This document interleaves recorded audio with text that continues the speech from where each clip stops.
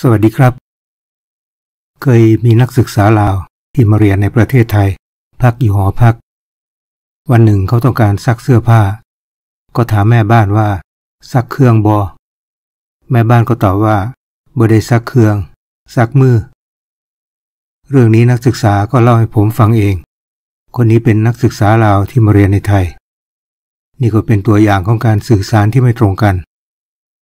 คำว่าเครื่องในภาษาลาวก็หมายถึงสิ่งของเครื่องใช้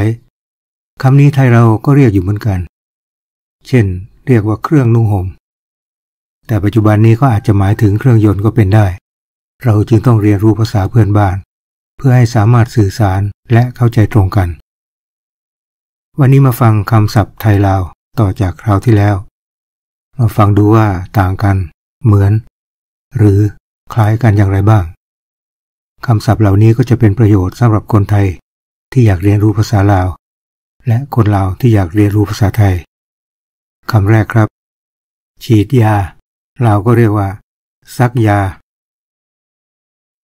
รักษา ปินปัว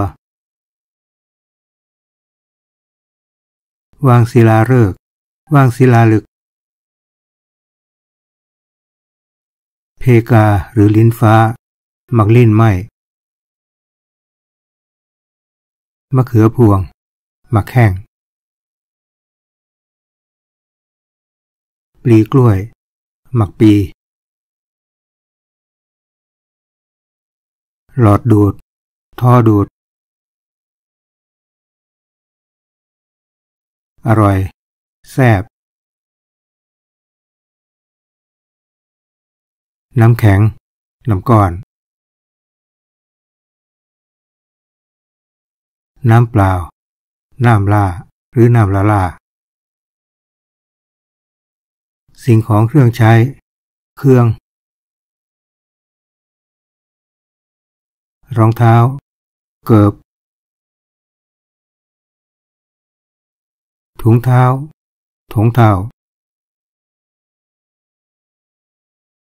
ถุงพลาสติก ถุงยาง ประตู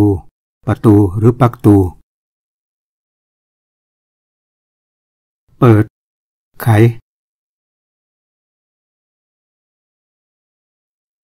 ดับไฟ หมอดไฟ คิดเงิน ไหลเงิน รถชน รถต่ำ ชนแก้วตำจอก เดิน ยาง ว่ายน้ำลอยน้ำแข่งเรือ สวงเฮือ ที่ประชุมหรือการประชุม กองประชุม ผลักดัน สุกยู่ปัญหา บัญหา ครั้งแรกทำอิดส่วนมาก ส่วนหลาย รีบเร่ง เฝ้า การประชุมโต๊ะกลม กองประชุมโต๊ะมนเนื่องจากว่าเพราะว่าย้อนว่า เยือน เยี่ยมยาม เรียนรู้จากประสบการณ์ ถอดถอนบทเรียน นับวันยิ่งเพิ่มมากขึ้น นับมือนับหลาย สาระเนื้อหาเนื้อใน มุ่งสู่จุดหมาย แน่ใจต้อนรับด้วยความยินดี คำนำหับตอน ขอแสดงความขอบคุณ ขอแสดงความหูบุญคุณ หารือ โอล่ม หรือล่ม เก็บรวบรวม เก็บกรรม ข้อเท็จจริง ข้อแท้จริง อุปสรรค ขอยุ่งยาก สาขา หรือด้านขแขนง